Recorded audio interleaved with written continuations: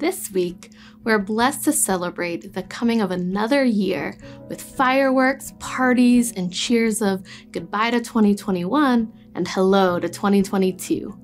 At the start of a new year, many people use the opportunity to take stock in their lives.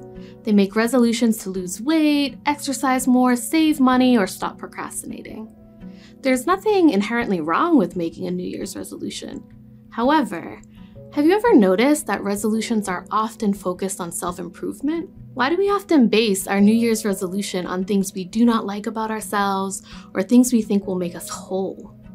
Why, when reflecting on our lives, do we tend to look at what we do not have versus what we do have? The truth is, God wants something different and better for us. While we do actively participate in the work to become more like Christ, our triune God invites us to be focused on the blessings we have already received and how we are being transformed by the goodness of God.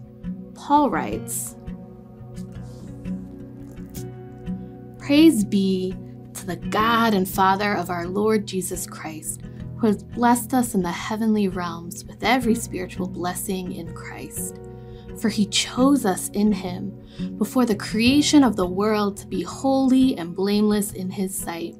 In love, he predestined us for adoption to sonship through Jesus Christ, in accordance with his pleasure and will, to the praise of his glorious grace, which he has freely given us in the one he loves.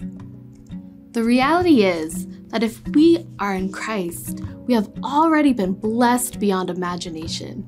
It is God's pleasure to bless His children, and He does not withhold His best from us.